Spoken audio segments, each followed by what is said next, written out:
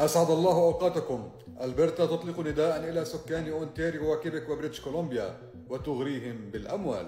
أطلقت حكومة ألبرتا المرحلة الثالثة من حملة ألبرتا is calling ألبرتا تنادي والتي أعلن عنها في بريتش كولومبيا وكيبك وأونتاريو. وتقدم المقاطعة مكافأة على شكل ائتمان ضريبي قابل للاسترداد بقيمة 5000 دولار لمرة واحدة تهدف إلى جذب العمال المهرة إلى المقاطعة. وقال وزير الاقتصاد والتجارة بحكومة ألبرتا أن حملة ألبرتا is calling والمكافآت المقدمة تؤكد التزام حكومتنا بجذب أفضل المواهب لتلبية احتياجات القوى العاملة للحفاظ على ازدهار المقاطعة. وقد تكون مؤهلا للحصول على ائتمان بقيمة 5000 دولار إذا انتقلت إلى ألبرتا بين 1 مايو و 31 ديسمبر 2024 وكمان يجب أن تعيش لمدة 12 شهر على الأقل بألبرتا وأن تعمل بمهنة تتطلب مهارات عليها طلب مرتفع.